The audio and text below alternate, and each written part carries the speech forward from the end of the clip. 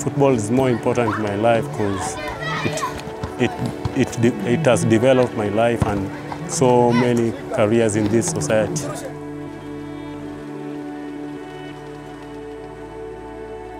It has been a challenge because most of the children, it was hard how to teach them how to use their techniques, how to know their skills, how to dribble. It has been a challenge because using uh, less balls, it's not easy.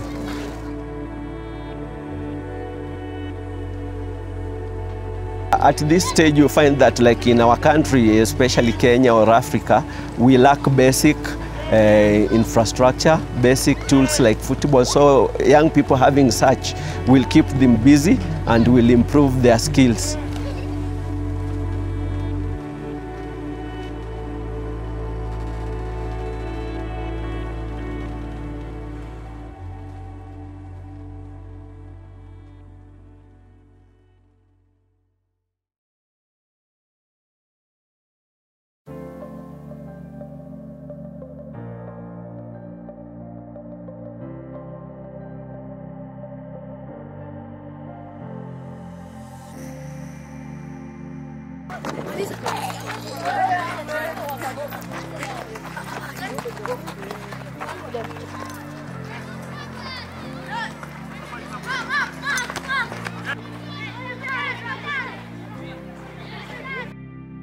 Uh, I would like to tell FIFA thank you for helping us with the equipment.